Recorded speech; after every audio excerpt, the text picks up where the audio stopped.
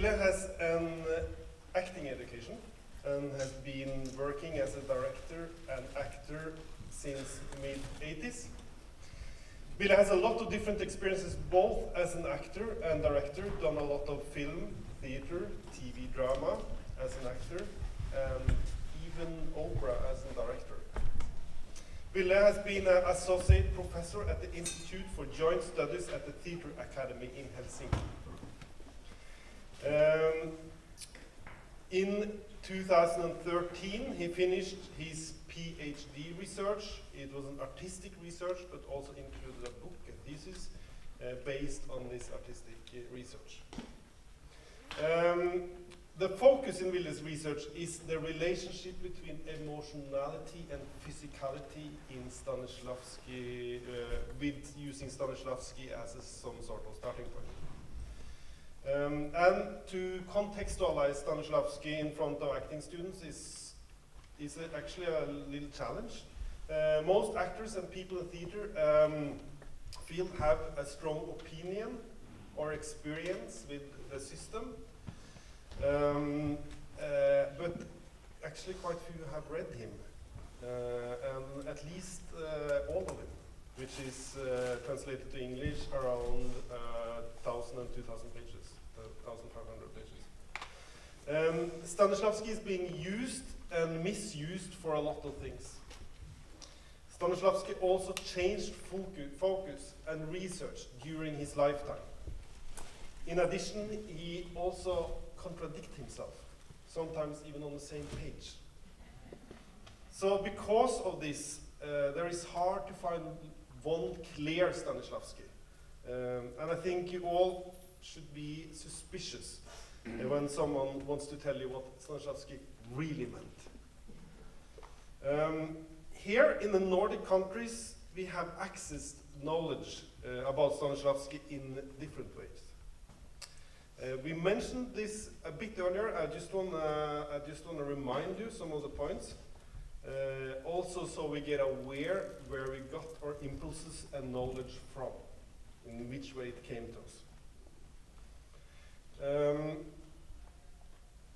uh, one thing is the books itself. Uh, as earlier mentioned, the first translation was done in the 40s in Danish, so the two first books translated. Uh, this created sort of the first way of Stanislavski in, in uh, Scandinavia. It was known before, but then actually you got to deal with his work, and that was also the foundation of the uh, school here in Oslo. Uh, was, this text was very important in the, in the 40s, 50s. Um, then we had an American approach, often referred to as method acting. Uh, method acting got known through the group theater and people like Lee Strasberg and Actors Studio. Um, and it, in the 50s, it was reaching the big audience from Hollywood. Also, that Strasberg started to hang out with stars helped uh, a lot. Marilyn Monroe is one of the big reasons why method acting is so commonly known also outside of the theater scene and acting scene.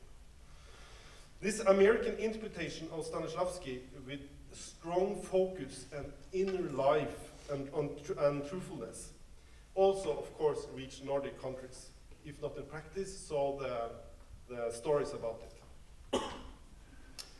Uh, in the following decades, there was new, coming new wave of Stanislavski interpretations. The next origin from East Germany, from uh, the pedagogue Rudolf Penka, from Ernst Busch Theatre School in Berlin. Ernst Busch has, up till today, been one of the most influential acting educations in the world. And it's been also in the center of shaping German acting styles. And Rudolf Penka was uh, in, uh, in Stockholm, in Copenhagen, in Oslo to teach a lot, probably also in Finland. Yes, he was in Tampere and actually I met him as a child in Gränna where my mother was uh, uh, attending a workshop. Yeah, and I think a lot of, um, of this generation of actors, quite many of them have worked directly with him. Um, Penka mixed Stanislavski with some ideas of, of Brecht, um, and for Penka, the main thing with Stanislavski was a lot of things, but some of the main things was the actor's responsibility, the actor's active choice, uh, the actor's participation and own interpretation, and how to deal with that, and the working ethics of the actor. Also, uh, Penka is one uh, using this active verb, which probably are quite known for many of you. The next big wave came in the 90s, uh, mainly with people like Irina Majewskaja from St. Petersburg, teaching both here but also in Denmark for several year, years, called the Tovstonogov School. Uh, this is, uh, Tovstonogov was a um, uh, director, big director during the um, Brezhnev period and later to the 80s in, in Soviet. This is a very master-oriented school. Uh, you have to somehow get your knowledge from someone that got the knowledge, from someone that got the knowledge, that someone got it from Stanislavski. this is idea of direct trans transference of knowledge through masters. Uh, this school had a strong focus on actions and goals and the character's will. The idea that the character reveal herself through some kind of subtext is very important. Um, you are supposed to say one thing, mean or do another thing, and then the audience is going to understand something third. So the spoken word should uh, somehow contradict the physical actions on stage. This is, this I would say is an aesthetical and methodical dogma in the Stanislavski-based school. In Norway, I'm, I'm sure you will you, if you don't know it, you will for sure sooner or later, later meet actors like this, and immediate impulse is like we have to do something else than we say. It's the first impulse. Um, so I think I think it's fair to say, uh, especially amongst the youngest generation of actors in Norway and Denmark, um, or the mid generation maybe now we can start to talk about. Uh, this is the most common interpretation of Stanislavski. Um, and that's, now I'm just mentioning the, the waves of Stanislavski understanding that we have in Norway and in Sweden and Denmark and partly in Finland, I think also. Um, and uh, I know it's different from for other countries like Poland. You have also other schools. And we have also a big Stanislavski school is um, uh, GITIS in Moscow, which also some of directors come to Norway from. Um, maybe it doesn't matter in the end what Stanislavski actually do meant. Uh, but it's important to note that the terms and the ideas can be understood in very different ways. And th that this interpretation makes a difference. Uh, just the term that Stanislavski is using uh, uh for what we often translate to goal, the Russian uh, word can also be translated to task and task and goal give completely different associations for, for what you're going to do in the scene somehow. Um, so, uh, first of all, Ville, um, I maybe should start to ask you um, in this summary of interpretations and directions and ways to try to understand Stanislavski, um, where do you come from? What part of the writing and teachings of Stanislavski has been most important for you? Uh, there are two questions. Where I come from, what's the most yeah. important? Maybe it's connected, maybe not. No, it's actually not. Or of course they are connected. Okay, so maybe you should say a bit where you come from first then, of the Stanislavski. Uh, yeah, I, I, come from, uh,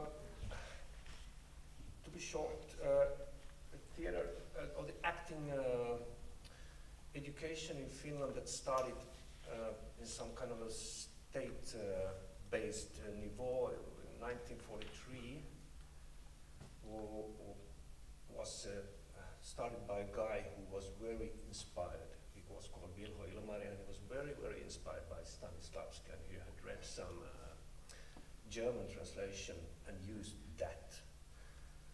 And uh, that kind of a uh, interpretation or use of Stanislavski, the system or whatever, uh, got into the school from that point on. And he was, this Vilho Ilmari, he was uh, educating and, and the rector of the, the uh, acting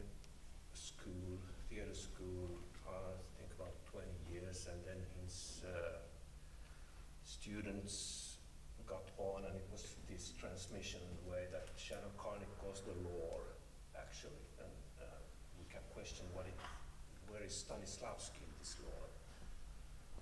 And uh, when I uh, applied and got uh, started my studies in the theater academy at that time in 1980, no one said a word about Stanislavski during my uh, education. He was meant, I tried afterwards remember because I got interested in him. He was meant once or twice in a theater history uh, lecturer as, as a guy who had a system and, and uh, art MHAT's uh, theater in uh, Moscow, like this. So, in a way, I was only educated in this lore and not by a system in that way. Uh, but it was definitely some kind of uh, thinking that you have to live through the character's life, life. You have to identify totally. You have to be authentic. You have to be true on stage. You have to be present via the character. You have to somehow diminish or uh, banish yourself from there. Th this kind of a real reality thinking, realism, psychological realism was the core of acting. And uh, uh, I thought that too, yes. And then, uh, as I said one of these days, that there was a total collapse in the theater education or the, in the theater academy. Uh, it happened in 1982, 83. I was the second year student, everything totally changed. And all of this old lore totally disappeared. And we got there uh, a man who's a little bit known, I think, in Sweden at least, Jouko Turkka, and he demolished everything, and he came out in with a totally different kind of a perspective or approach to acting. And uh, for me, not to go into this process and what it means, for me it was uh, God's gift, you could say.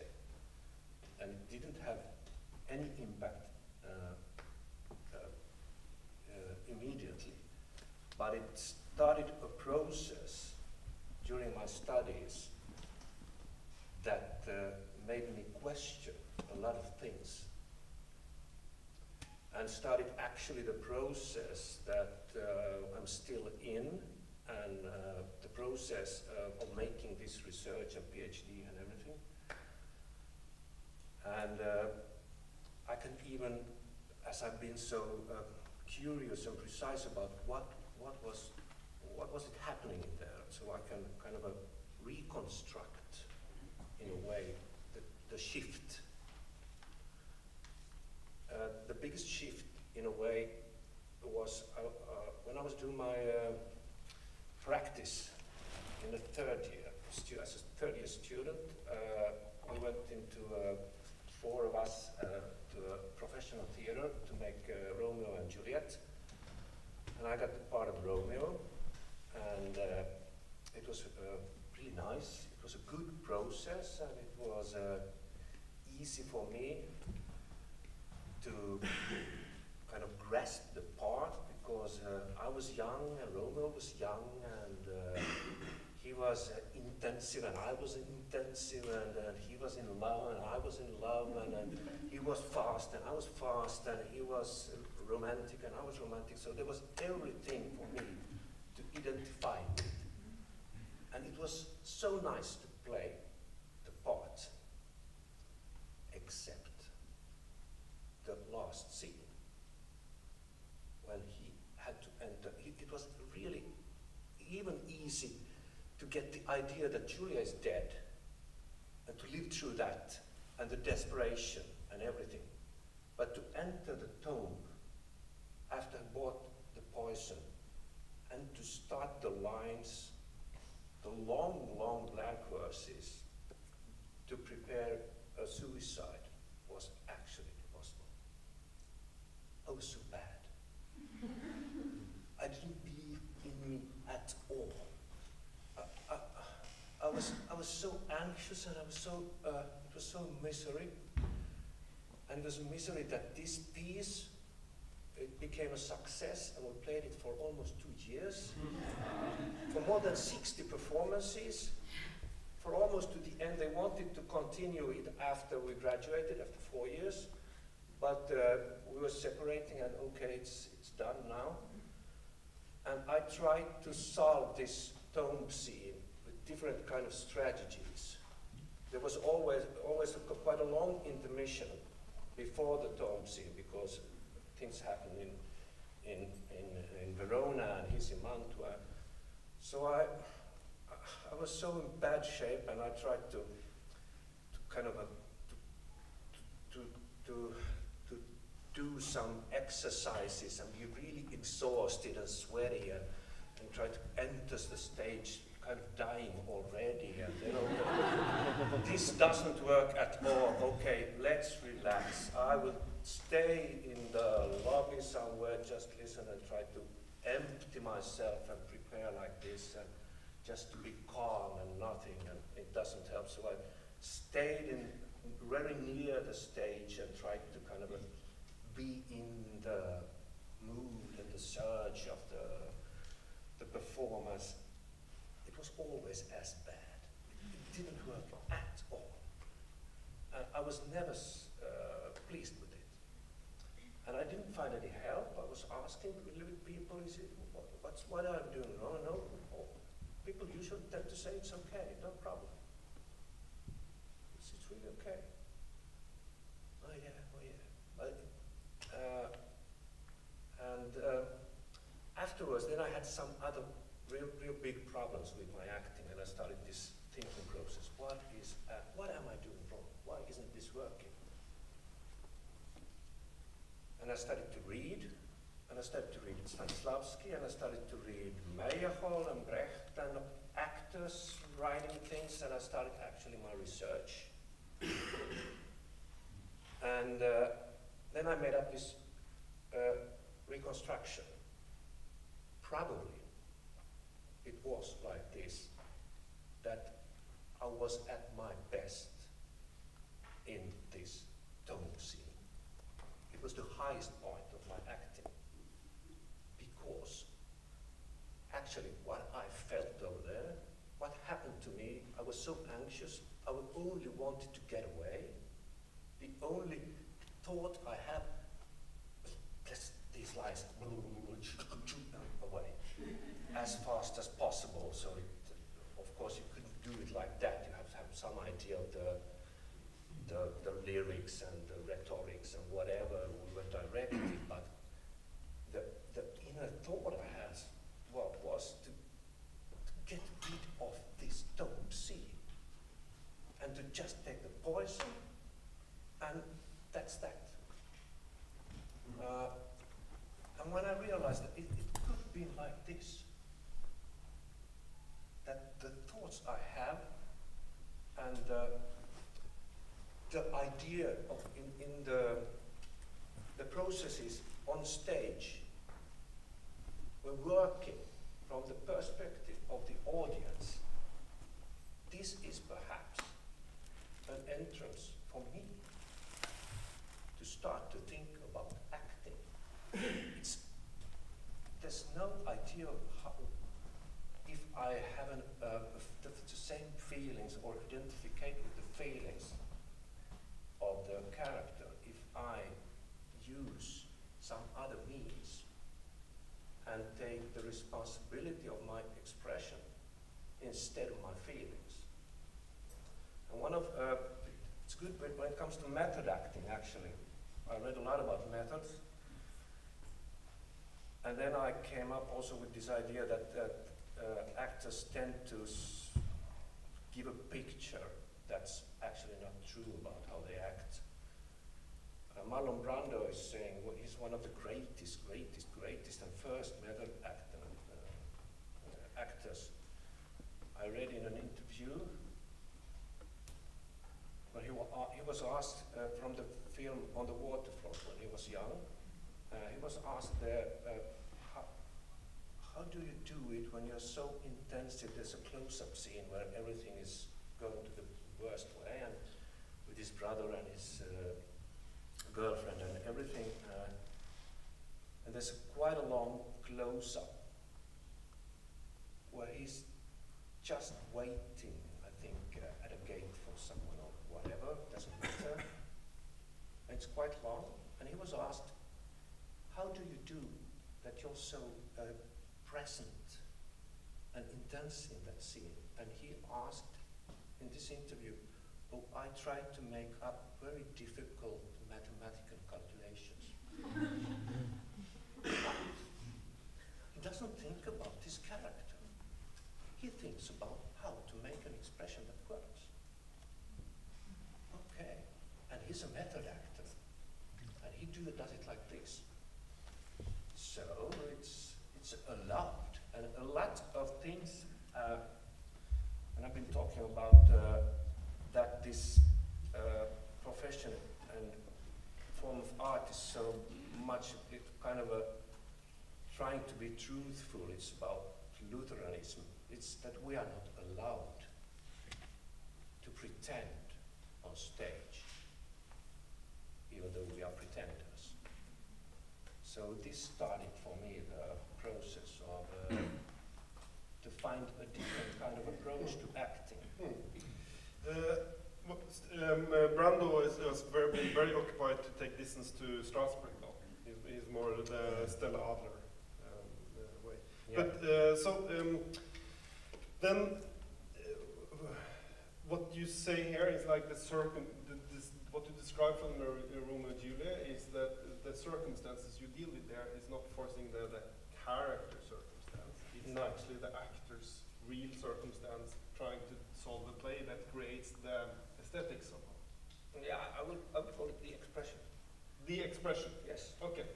Because what I'm curious about then is like this idea about character. Because then you say character isn't forcingly something that is created and exists in the, in, in the actor, but it's something that is created from audience's interpretation. Yeah. Do you move the focus somehow? Try to move it uh, the most I can. I, I I try to be on stage. I try to be very conscious, very controlling, to know what to do and to find means to, yeah, to be good on stage and to, to give the expression for the audience that they get the picture or the impression that uh, uh, I'm kind of hoping them to uh, to get. And of course, it's everyone in the audience is getting the different one. But it's my it's my responsibility, as I see it, to try to have uh, an expression that is somehow coherent to what we all are doing stage. And then the, the most important uh, co-partner in this work is, of course, uh, the first audience, and that's the director. The director is an audience. For me, it's, he or she is me- mere an audience, uh, a spectator, who I am working with and hoping to get the feedback and the leads that my expression and my acting is working for the director or the audience. So that's the interaction, and it's very important. Can, can we just stay uh, a little bit longer with the character, just the, uh, um, just so we figure out this mystery? Uh, do you have is the character important for you Uh, yes, absolutely important. How do you define character? Uh, I could define um, uh, the best definition in a way, even though it's a little bit of construction, but I like constructions because it's, it's, it's nice to build up constructions and uh, in a way define things and then, then you can kind of uh, forget about them. But there was a French actor, uh, Benoit, Jacques Benoit Coquelin, and he is uh, from the 19th century. Also, Stanislavski mm, uh, is, is says, uh, telling about him as a very good actor, but that does have this kind of a wrong attitude to acting, as he is. Benoit Coquelin is uh, telling that he's uh, making up a character. He's thinking up or kind of a building up a character in, in some techniques we don't have to go into, but when the character is ready, he just has to step in it. So there's a, a space in between. And that, I think that when I start a process and, and I'm I'm going to play a character, I imagine that character is already somewhere. Very independent, very alive, very flesh and blood. And now this process starts when we have to get to know each other. And we are in, uh, dependent on, each other, and then we finally and hopefully are uh, doing things together on stage. So you meet, do you, you meet somehow in the middle? Yeah, that what you said? somewhere. It, I don't know if it's a middle. It, uh, earlier I thought about it can be a process, but I, I forgot a little bit about this. But it can be a process where the, the character we meet. If the charac- if I make the character very much like me, we meet at my place. If the character is very far away from me, we meet at his or her place. So it's, but uh, this these are the kind of constructions that I don't think so much about anymore. But I try to think that the character is something that I have to get to know too. And this helps me usually to find means in acting that are uh, new for me or I, I, for instance, I I make up things that I don't tell to anyone else, but uh, okay, this character, I'm right-handed, so he's left-handed. And I, or let's say, I suggest to my character, could you be left-handed? oh yes, it seems to be that he's left-handed, or, or and, and I suggest to my characters, or try out if he has some kind of habits. To I use a lot of my hands not like this, like a se- semaphore, but it's doing something because people have habits, and I use a lot about a lot of uh, observations in the daily life, and pick up things that I can use later. That could be a character's habit or somehow something like this. So, yeah, the character is most important for me. Okay. Is that the main goal for your work?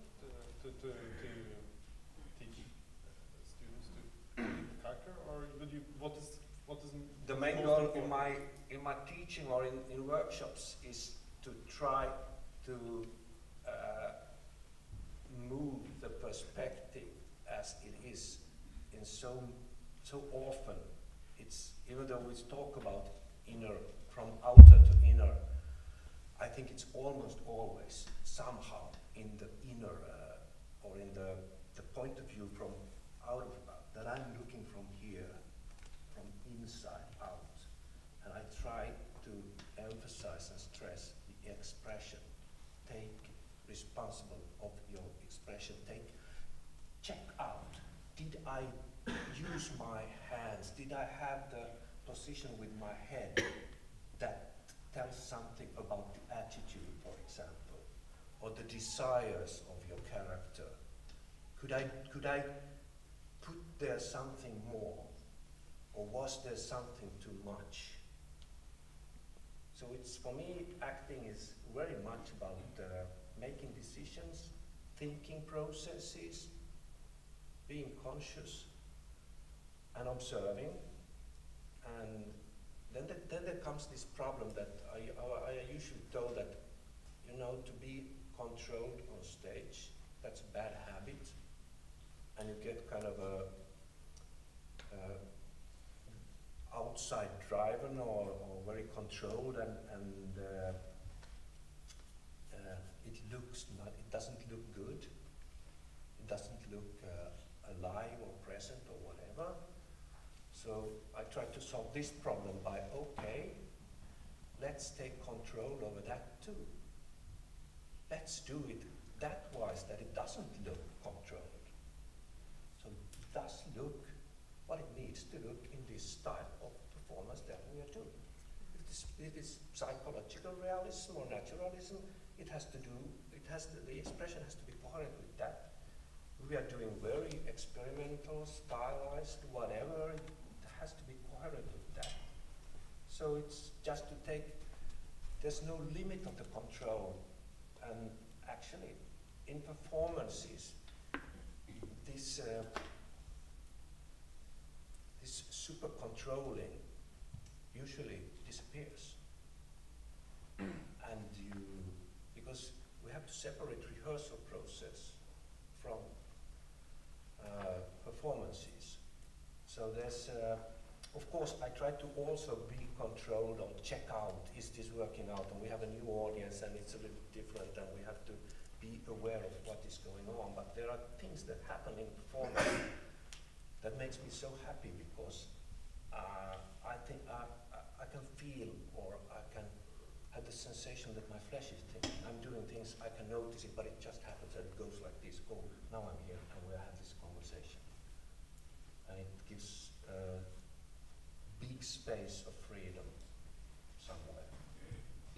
Uh, my association also go to, I mean, Stanislavski was very occupied by this idea that the, the, observer be destructive for the actor. Yeah. And uh, also the audience, I mean, it's a, it was, he created this method in a fourth wall theater environment. Yeah. So you had to find a way to focus on what you're doing so you forget the spectator in you and the spectator on the, sta- on the, in the audience. Yeah. But somehow it sounds like you want to do this spectator to something to integrate that into your training somehow. Yeah, Is that yeah. correct? Because we cooperate the performance, so we are very, we do it together, we do it with them, for them, and they are there for us. So it's uh, something that I want to emphasize from the very first beginning. This is something, a process where we are together. And I'm not so sure about, uh, to go back to Stanislavski a little bit, actually one of them,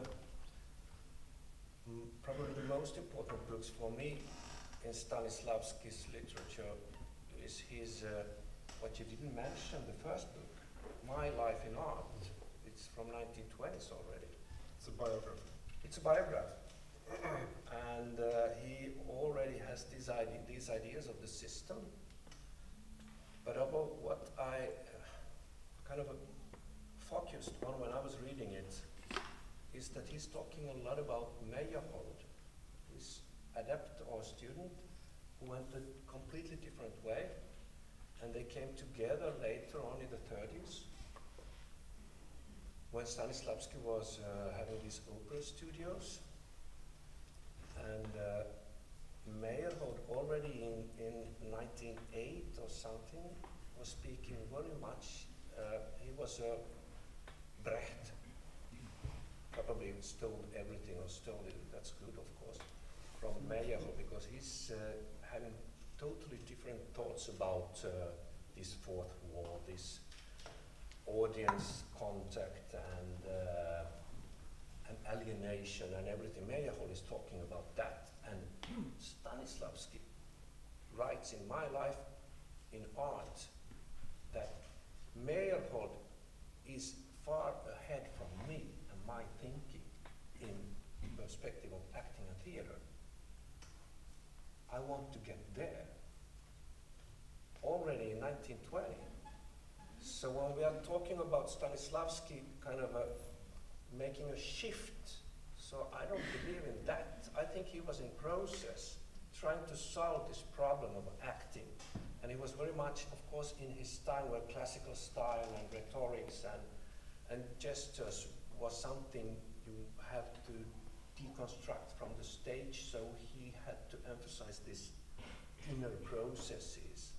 But uh, there's no truth and actually, the biggest truth, or the biggest uh, learning from Stanislavski is the very late one again, when, when he's saying that there is no system. Forget about the system. You can't act the system, burn them. there's only organic nature. So, uh, and, if you can't, it is, it is saying that you can't teach a system. I'm, so I'm not teaching Stanislavski because I, you can't teach the, that system, but you can take from him so much ideas and be uh, to know that this is a process and it uh, changes by the years. Also, your thinking of acting and what I think that you should teach for the students is that go into the process and find your own methods. Find your own way to be an actor. And remember that it will change. It will also change just because your body gets older and your thinking changes and the styles change. And if you write a method in a stone, it's, uh, or a technique, uh, it probably doesn't work. Uh, and you can make your career a boring one because you are always dependent on something, one thing. So, um, you still having somehow a relationship to Stanislavski in your work. So how do you how do you transmit transfer? How do you use the terms, the ideas? Do you use them, Oh, yeah. or do you don't use them? Do you talk about given circumstances? Do you talk about magical? If do you talk about Yes, things? no, I, I actually I don't talk about them, but I, I've changed them. uh, they are they are so fine, and I, I kind of think that this is what this is the right way to to have Stanislavski with you. So, for instance, there's a really nice uh, uh, kind of a phrase of the magical if that goes something like that. That uh, I- I wrote it down somewhere. I'll, uh, well, now it's over here. What would I do if I if I were today here and now in a similar uh, corresponding corresponding situation as my character is? The so-called scenic truth requires this question and action through that, this magical if. Uh, my suggestion is to replace today this magical if with a magic when. The performative situation become, in my way of thinking, much more present when I'm asking myself, what should I do now when I am in this actual situation? And you can add to that with my character. So it's not a magical if, it's a magical when. I'm, I'm here now. What should I do now? When I am in here. It's, it's, for me, it's very present and very active. It's not a if. There's a lot of ifs. There's also this uh, stupid if that uh, when a, some, we're meeting on a stage and you, you should see him as if you saw him the first time. I don't understand. What does that bring to the situation? As if. So what would you say? Oh, that I see you. it's very simple. Sitting there. This as if is something that comes from the situation. You have to understand that uh, the audience is doing, I think, in many, many situations, 90% of your work. You don't need to do that. If Øystein comes in and I see him, uh, and it, of course it depends on if, if, if he's a, if I want to sit alone in a situation and I'm waiting for a murderer, I have to uh, react or express in some specific way. Is that the murderer? But I don't want to think as if he comes for the first time. So it's, it's you have to try to, acting is very complex. So uh, it's very important for me to, to reduce all the useless things from it. This as if brings a lot of stupidity in acting. And the given circumstances, is also another, uh, for me it talks quite a lot about this hierarchy we have in theater that we all also have been talking about, that there are some, for the actor, given circumstances. Okay, they are given from somewhere, and they usually are given from the text, and then probably from the director, and given something, and, and, and for me, it doesn't work that I get something that I have to do in this way. So for me, these circumstances are much more working if I think of them as actional and self-made circumstances. Here we have some circumstances always on the stage. They have to be actional, and I made them up myself. I, I don't get them from somewhere. Of course, we're in an inter interaction with the text, with the material, and with the director, and with the other actors. So it's a lot about that also, that these circumstances are built together. But, you know, what, from what my perspective, I have to be actional in I have to make them up myself and to take in consider the other partners in my work. So this idea of to get some circumstances that I then start to play, it doesn't work for me. But this is just a way actually to use Stanislavski in some way. It sounds like you try to rephrase it so it Yeah. makes it more active, Yeah, the, the way you perceive it. yeah. Um, could you say something about how we actually work or show something? Or Yes, uh, uh, as this workshop, I asked the students in my workshop if there is, because Øystein asked, uh, want to show something, and we could have a small presentation from one of very easy uh, exercise. Uh, it's something I usually, it's quite in the beginning. i work a lot with turning points. This is also has to do something with this uh, trying to solve the complexity of acting. So I think that uh, I, I try to think of acting as divided to, to where, where, when, what do I have to concentrate on? So I think as an actor on stage, working with your situation, I try to concentrate on the turning points. Because the turning points are for me important. There's a change, there's something interesting going on right over there. Uh, when, for instance, Romeo sees Julia in the ball at Capulets, that is the turning point when he falls in love. And if I would have thought about this when I was doing it, I would probably have done it differently or thought about it differently. That uh, thing, falling in love, is really important. But after that, you don't have to be in love at all. You have to. You don't have to think about that. You don't have to act that.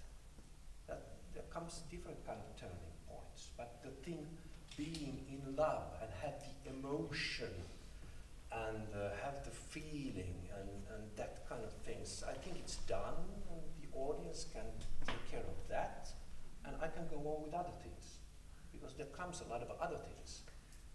But there's a guide in love is kind of it's, told and it's done, and everyone can see it my, in my expression, even though I didn't think about it because Shakespeare is taking care of that.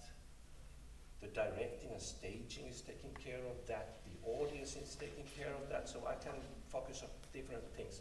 That's why I'm uh, focusing on these turning points. So let's uh, make some space. Do you want to I, I want I need everything away. And let's do, please come down. Uh, groove. And go over there.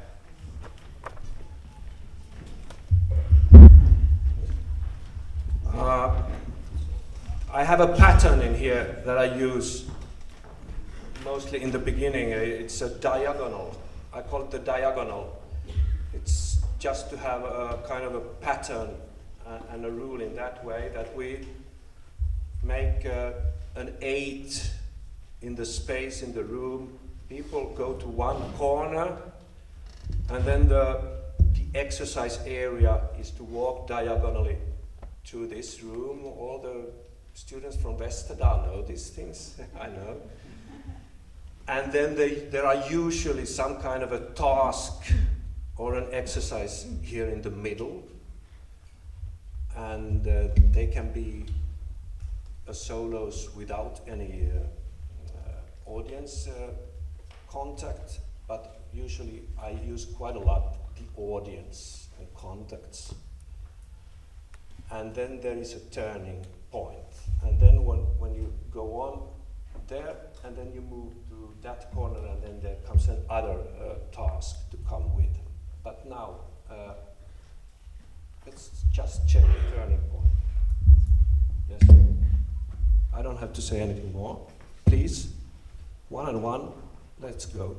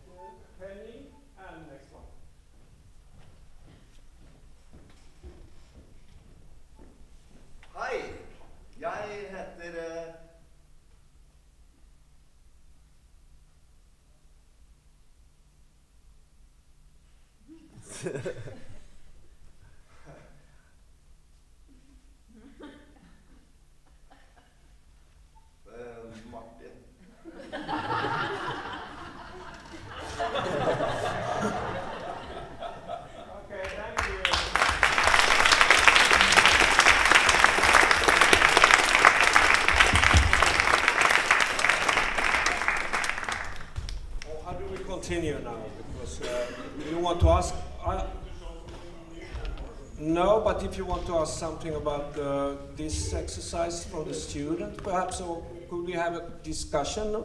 Yes, please. Did, was it the same that happened to everyone, that everyone forgot their name, or did someone just lo- lost their confidence? No, the the the exercise is I quite I try to be so simple as possible and have to quite exact rules, but uh, then the rules are of course there just to be it's allowed to find new ways to approach things, but it's this is actually I usually do it quite in the beginning, and it, there are two parts. We just uh, try to how it feels to be exposed on stage. It's I usually the first one is just to walk through the room, just to walk, and then I'm sitting there or standing there wa- watching, and all the others are watching you, and you just walk, and then we just start to start to talk about how was it walking past the room, and you were looked at, and that's the it usually already raises up some questions and uh, I usually ask how did it go, how did you look? and whatever. And then uh, then the next one is that you walk and you stop and you present yourself. You say your name, first and last name, and that's all. And then you go, and then we talk about that. How was it? How did it go? And then we come to the turning point. and then there are, you can I make up different kind of turning points. It's very easy to make up different kind of turning points.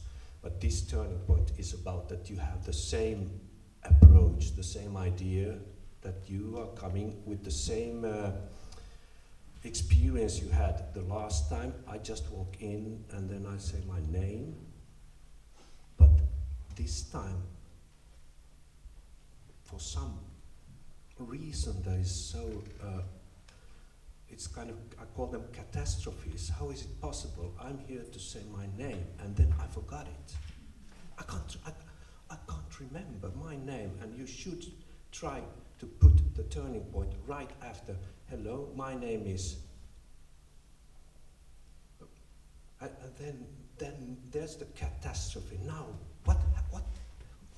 And then you have, you kind of, to uh, solve the situation, to, to escape from the stage, you have to make up a name for you.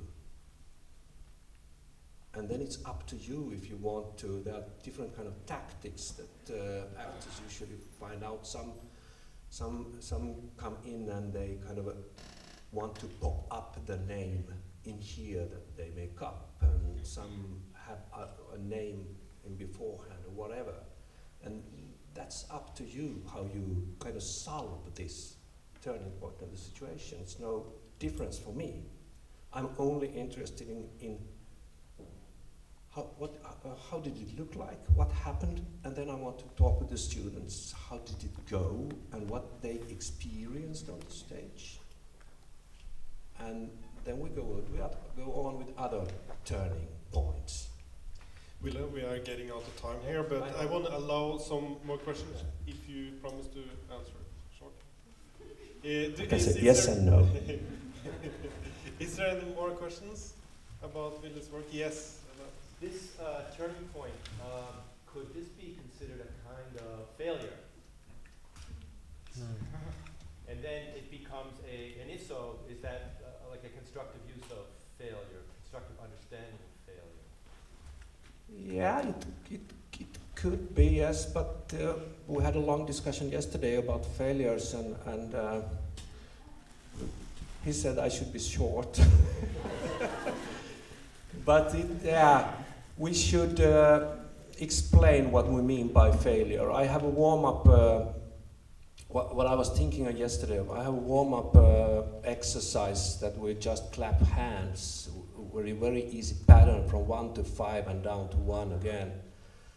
And there happens, in a way, failures, and you, it's uh, or mistakes, and it's we try to be very precise about not to uh, to make any mistakes, because if you make mistakes in that exercise, it the, they aren't working.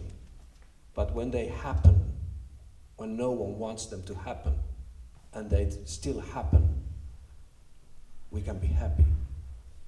So that is one kind of a uh, the space between the failures from one point of view that uh, are so valuable in this field of art that we are doing something and then we come somewhere where we didn't know that existed.